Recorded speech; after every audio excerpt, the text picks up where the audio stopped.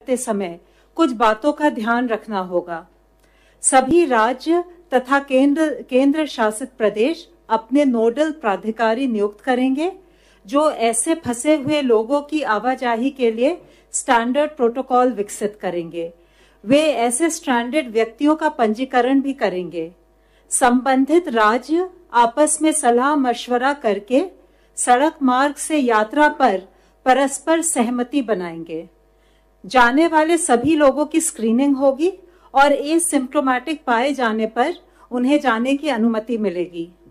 समूह में यात्रा के लिए बस का प्रयोग किया जाएगा, बसों को सैनिटाइज किया जाएगा और बस में बैठते समय सोशल डिस्टेंसिंग के नियम का सख्ती से पालन किया जाएगा। ट्रांजिट रूट में आने वाले सभी राज्य इन लोगों की आवाजाही की अनुमति देंगे। गंतव्य पर पहुँचने के उपरांत स्थानीय स्वास्थ्य अधिकारी इन लोगों का मेडिकल चेकअप करेंगे। यदि इन्हें संस्थागत क्वारंटाइन की आवश्यकता नहीं प्रतीत होती है तो 14 दिन के लिए होम क्वारंटाइन में रखेंगे। नियमित रूप से इनका हेल्थ चेकअप किया जाएगा और इनके स्वास्थ्य पर नज़र रखी जाएगी। यात्रियों को आरोग्य सेतु ऐप का उपयोग करने के लिए प्रोत्साहित किया जाएगा। सभी राज्यों को इन सभी निर्देशों का सख्त अनुपालन करना होगा। इसके अलावा आज मैं आपके साथ हमारी दो इंटरमिनिस्ट्रियल सेंट्रल टीम्स जो हैदराबाद और चेन्नई गई हैं, उनका भी फीडबैक शेयर करूँगी।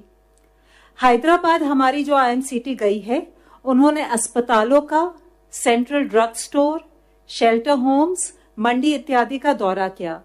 उन्होंने पाया कि राज्य के पास पर्याप्त मात्रा में टेस्ट किट्स पीपीए किट्स इत्यादि उपलब्ध हैं।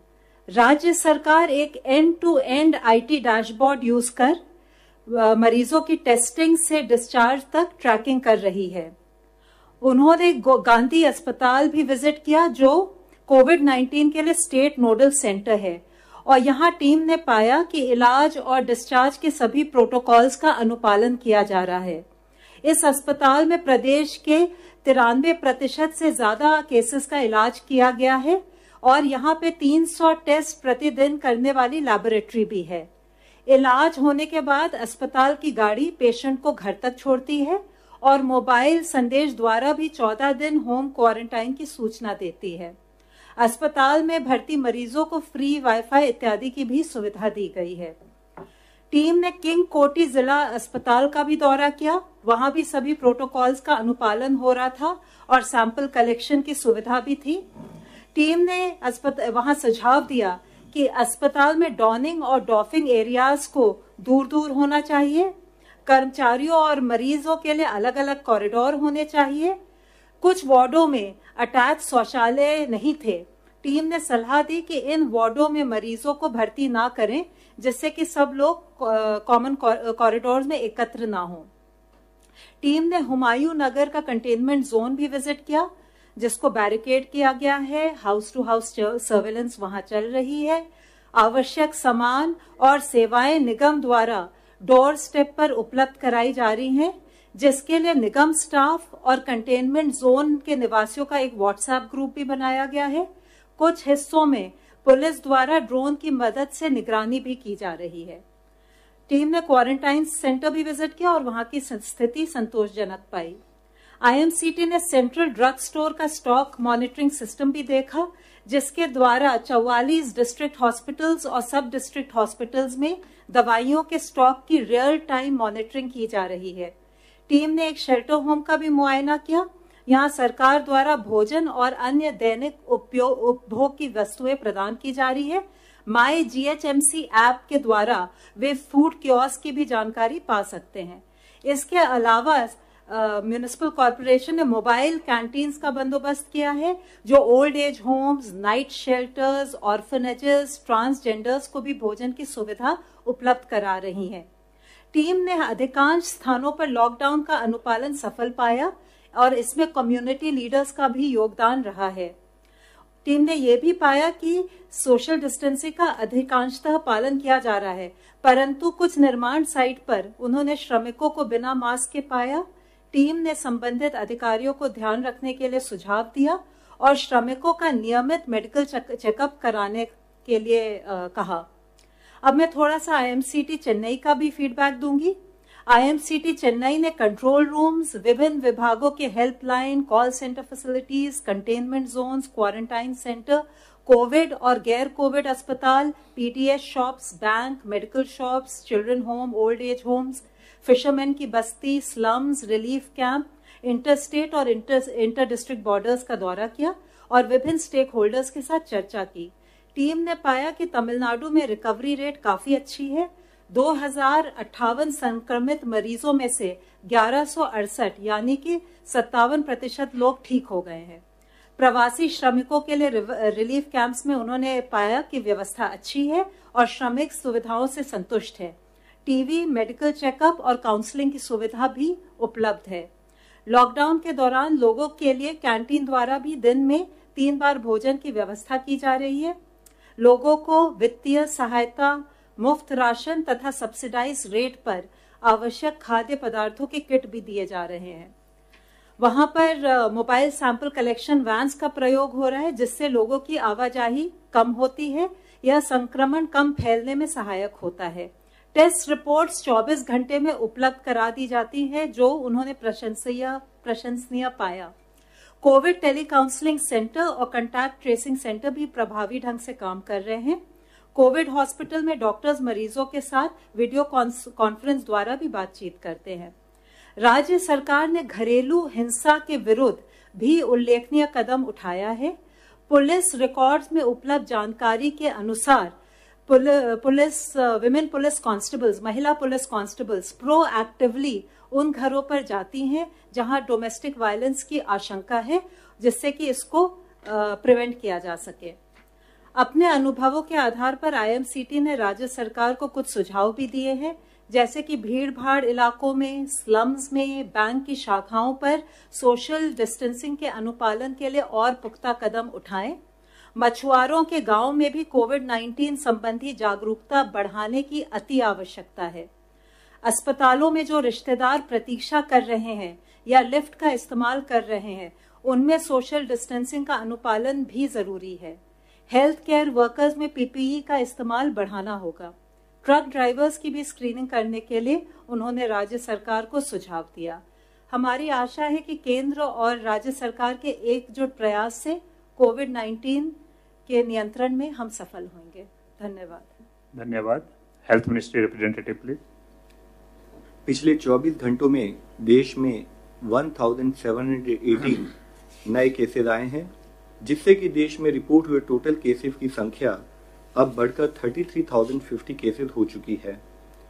अगर हम देखें जो हमारे पास अभी एक्टिव मेडिकल सुपरविजन के केसेस हैं तो वह संख्या तेईस हज़ार छह सौ इक्यावन है। पिछले 24 घंटे में 630 पेशेंट वो क्योर भी हो गए हैं जिससे कि हमारे टोटल क्योर्ड पेशेंट्स की संख्या बढ़कर अब 8,324 हो चुकी है। इस तरीके से अगर हम देखें तो हम पाते हैं कि हमारे देश में total recovery rate presently 25.19 percent है। रिकवरी रेट के अंदर हम एक प्रोग्रेसिव ट्रेंड ऑब्ज़र्व कर रहे हैं। जैसा कि आप लोगों को इससे पहले भी बताया है कि 14 दिन पहले का अगर रिकवरी रेट देखें तो वह 13.06 परसेंट था, जो कि अब बढ़कर 25 परसेंट के ऊपर पहुँच गया है। यह एक बहुत ही पॉजिटिव साइन है। इसके साथ ही हम लोगों ने अगर रिपोर्टेड डेथ केसेस की एनालिसिस करें तो पाया कि हमारे देश में केस फेटेलिटी करीब 3.2 परसेंट नोट की गई है, जिसमें से 65 परसेंट मेल और 35 परसेंट फीमेल पेशेंट थे। अगर हम मोर्टेलिटी का एज डिस्ट्रीब्यूशन भी देखें तो पाते हैं कि less than 45 years age group में 14 percent cases case fatality has been noted 45 से 60 इयर्स एज ग्रुप में 34.8 percent case fatality has been noted और 60 इयर्स के अबव एज ग्रुप में 51.2 percent case fatality has been noted उसमें भी अगर हम देखें कि 60 प्लस एज ग्रुप को अगर हम दो भागों में डिवाइड करें तो 60 टू 75 परसेंट में 42 percent case fatality has been noted और अब 75 ईयर्स में भी हमारे पास 9.2 परसेंट केसेज में केस फेटेलिटी नोट की गई है। इसके साथ ही 78 परसेंट केसेज में जो डेथ्स रिपोर्ट हुई हैं, उनमें कोमॉर्बिडिटीज भी पाई गई हैं। यह हम आप लोग की दृष्टि में इसलिए लाना चाहते हैं कि कोविड 19 के संबंध में बोथ एल्डरली एज और को कोमॉर्बिडिटीज रिस्क फैक्टर्स के रूप में पाए गए हैं। अगर हम देखें तो देश का डबलिंग रेट जो कि लॉकडाउन से पहले 3.41 3.4 पर था वह प्रोग्रेसिवली बढ़कर अब 11 दिन हो गया है और कई स्टेट्स उस संबंध में अच्छा परफॉर्म कर रही हैं। जैसे कि अगर हम देखें कि जो स्टेट देश के डबलिंग रेट से बेटर परफॉर्म कर रही हैं, यानी कि वहाँ पर केसेस की डबलिंग 11 दिन से भी ज़्यादा हो रही है 11 से 20 दिन के बीच में देखें तो हम देखते हैं कि दिल्ली में, उत्तर प्रदेश में, जम्मू कश्मीर में, उड़ीसा, राजस्थान, तमिलनाडु, पंजाब, इन स्टेट्स में डबलिंग रेट 11 से 20 दिन के बीच में पाया गया है। साथ ही 20 से 40 दिन का डबलिंग रेट कर्नाटका, लद्दाख, हरियाणा, उत्तराखंड और केरला में देखा गया है। इसके साथ ही कुछ स्टेट्स में अब 40 डेज़ का भी डबलिंग रोड नोट किया गया है। वह है आसाम, तेलंगाना, छत्तीसगढ़ और हिमाचल प्रदेश। यह यह बात मुख्य है कि हमें समझना चाहिए कि ओवरऑल स्टेट का डबलिंग रेट अच्छा होते हुए भी हो सकता है कि उस स्टेट के कुछ जिलों में केसेस का डबलिंग रेट हाई हो। तो इसके लिए ज़रूरी है कि हम लोग ये ऑब्ज़र्व करें, ये इंश्योर करें कि हमारा जहाँ एक ओवरऑल देश का डबलिंग रेट बढ़े, यानी कि कम दिनों में, ज़्यादा दिनों में केसेस का डबलिंग हो, उसी हिसाब से हम अपने आइडेंटिफाइड हॉटस्पॉट्स में कंसंट्रेटेड वे में काम करें ताकि हम ओवरऑल डिज़ीज़ को इस देश में कंट्रोल कर सकें। इसके साथ ही स्वास्थ्य मंत्रालय की तरफ़ से हमने सब स्टेट से फिर से डिस्कस किया उनको रिक्वेस्ट किया है कि कोविड 19 के केसेस को मैनेज करते समय हम ये भी इंश्योर करें कि non covid related essential services सभी लोगों को प्रोवाइड की जाती रहें। नॉन कोविड इसेंशियल सर्विसेज़ से संबंध में ऑलरेडी 20 अप्रैल को एक डिटेल्ड गाइडलाइन जारी की गई थी, जिसके तहत हमने कहा था कि वह मैटरनल चाइल्ड हेल्थ सर्विसेज़ हों इम्यूनाइजेशन सर्विसेज़ हों कम्युनिकेबल डिज़ीज़ जैसे tuberculosis leprosy vector borne diseases जैसे डेंगी या साथ ही नॉन कम्युनिकेबल डिज़ीज़ जैसे कैंसर डायलिसिस ऐसी जो भी डिजीजेज हो, उनकी सर्विसेज़ भी रेगुलरली लोगों को प्रोवाइड की करती रहनी चाहिए। मिनिस्ट्री ने डायलिसिस के लिए एक स्टैंडर्ड ऑपरेटिंग प्रोटोकॉल भी 7 अप्रैल को जारी किया था। साथ ही 9 अप्रैल को ब्लड डोनेशन और ट्रांसफ्यूजन से रिलेटेड सर्विसेज़ के लिए भी डिटेल्ड गाइडलाइंस जारी की थी। माननीय स्वास्थ्य मंत्री जी ने भी सभी राज्यों के स्वास्थ्य मंत्री को लिखकर कहा था कि थैलेसीमिया हीमोफीलिया या सिकल सेल एनीमिया जैसे ब्लड डिसऑर्डर्स हैं, उनके लोगों को क्योंकि रेगुलर ब्लड ट्रांसफ्यूजन की ज़रूरत है तो ये इंश्योर किया जाए कि उनको प्रॉपर और अनइंटरप्टेड वे में ब्लड ट्रांसफ्यूजन सर्विसेज़ मिलती रहें। राज्य में ये भी कहा गया है कि प्राइवेट क्षेत्र के कई अस्पताल अपने रेगुलर पेशेंट्स को डायलिसिस ब्लड ट्रांसफ्यूजन कीमोथेरेपी और इंस्टीट्यूशनल डिलीवरी जैसी क्रिटिकल सर्विसेज़ को देने में किसी कारणवश, भय की वजह से या लैक ऑफ़ अंडरस्टैंडिंग की वजह से कभी कभी संकोच कर रहे हैं। वह अपने डर, इस डर से अपने हॉस्पिटल और क्लिनिक्स को भी बंद कर कर रखे हुए हैं। उन स्थानों पर, कई जगह पर यह देखा गया है कि वह सर्विस प्रोवाइड करने से पहले टेस्टिंग के लिए भी इंसिस्ट कर रहे हैं। इस विषय में यह हाईलाइट किया जाता है कि जिन भी क्रिटिकल सर्विसेज़ की देश में आवश्यकता है, सभी हेल्थ फैसिलिटी विशेषकर प्राइवेट सेक्टर ये फंक्शनल बनी रहे और किसी भी पेशेंट को किसी भी तरह की कठिनाई का सामना ना करना पड़े। गृह मंत्रालय ने 15 अप्रैल के अपने आदेश में भी यह स्पेसिफिकली हाईलाइट किया था कि लॉकडाउन की अवधि में सारी हेल्थ सर्विसेज़ फंक्शनल रहें। कोविड 19 टेस्टिंग के संदर्भ में यह हाईलाइट करना बहुत आवश्यक है कि कोई भी हेल्थ फैसिलिटी जो भी किसी को टेस्ट प्रेस्क्राइब करे, वह प्रोटोकॉल के हिसाब से होना चाहिए, उसके अनुसार होना चाहिए। हमें एडिशनल टेस्टिंग प्रेस्क्राइब कर कर किसी को सर्विस रिफ्यूज नहीं करनी है साथ ही हमें यह इंश्योर करना है कि पर्सनल प्रोटेक्शन इक्विपमेंट और उसके साथ ही इंफेक्शन प्रिवेंशन और कंट्रोल से रिलेटेड सभी गाइडलाइंस बोथ गवर्नमेंट और प्राइवेट सेक्टर में सब तरीके से फॉलो की जाएँ।